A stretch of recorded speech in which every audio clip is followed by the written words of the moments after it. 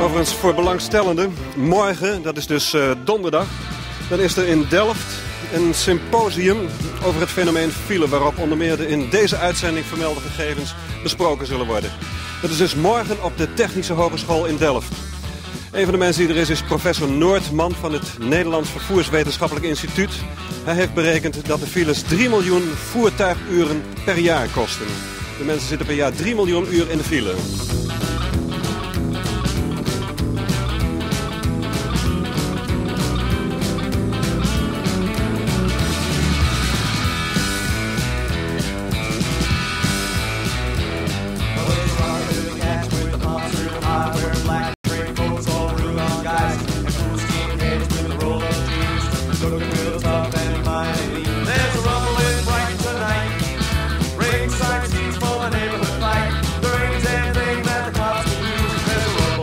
fighting tonight.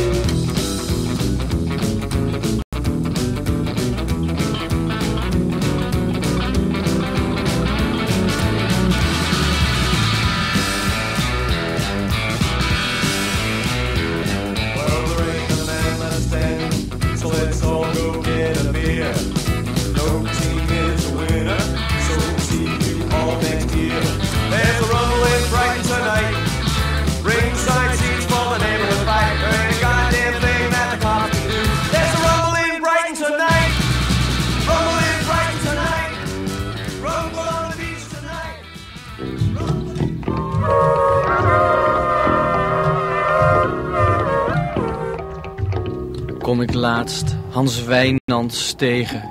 Vraagt hij me of ik eens een commentaartje zou kunnen maken ten aanzien van het nijpende fileprobleem. Natuurlijk, Hans. Met alle soorten van genoegen, hoor. Want mijn antipathie jegens automobilisten dateert al van jaren geleden toen ik wanhopig verliefd was op Viola, een meisje bij mij in de klas. Maar omdat in de puberteit de aantrekkelijkheid van jongens recht evenredig is aan het merk brommer, motor of liefst auto dat ze bezitten, waren mijn kansen op succes bij Viola al bij voorbaat verkeken daar ik slechts over een vervoermiddel beschikte dat ter nauwe nood onder de verzamelnaam fiets te rangschikken viel. Vandaar dan ook dat ik gedwongen was om iedere middag met leden ogen toe te zien hoe Viola van school werd afgehaald door een dikke, puisterige, naar luizweet en tandsteen riekende patser die luisterde naar de klinkende naam Ted. En die zijn aanspraken op mijn onbereikbare liefde slechts ontleende aan het feit dat hij zijn logge lijf in een sportwagen vervoerde. Doch de definitieve genadeklap voor mijn vertrouwen in onze samenleving waarin de automobilist als alleenheerser regeert dateert van ongeveer twee weken geleden.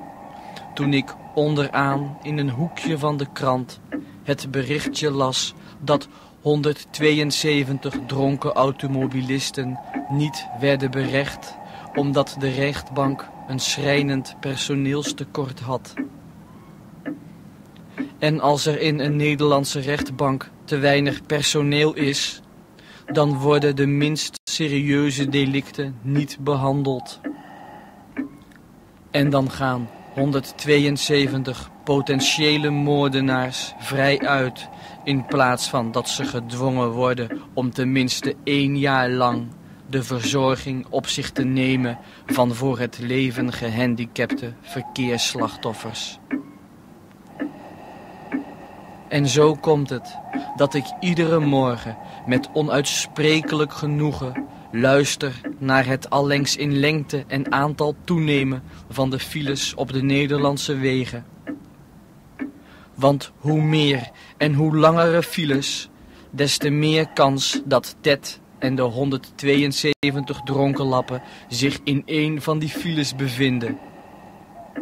En des te groter de kans dat ze uit overspannen ergernis aan elkaar een misdrijf begaan dat zelfs een Nederlandse rechtbank wel moet behandelen.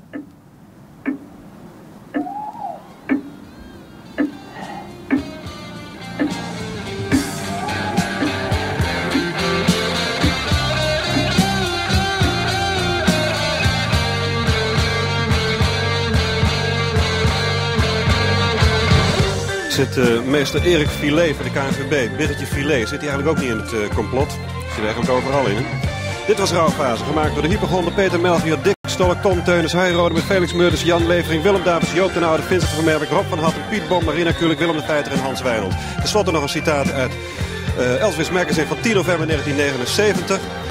Adjudant van Dijk van de Centrale Politieverkeerscentrale in Driebergen. Soms houden we een filemelding expres achter. Bijvoorbeeld als je voorziet dat de file na een half uur zal duren. Melding ervan betekent dat je het verkeer ertoe brengt alternatieve routes op te zoeken. En dat mag niet, want files moeten blijven. Daar wordt aan verdiend. Daar worden onderbroeken mee verkocht. En benzine en heel veel andere dingen. Dus files moeten blijven. Wij ook. Volgende week woensdag zijn we er weer. Wat mij betreft, tot dan.